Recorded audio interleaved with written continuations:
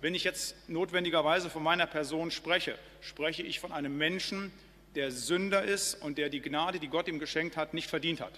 Und wenn irgendetwas irgendwie Anklang finden sollte, so nach dem Motto, was der Latzel für ein toller Held ist, das vergessen Sie mal gerade. Ich bin nur ein ganz kleines Licht, ein sündiger Mensch und verdiene nicht das, was ich tun darf. Aber ich muss zur Ehre Gottes das auch erzählen, was mir passiert ist in der Ausrichtung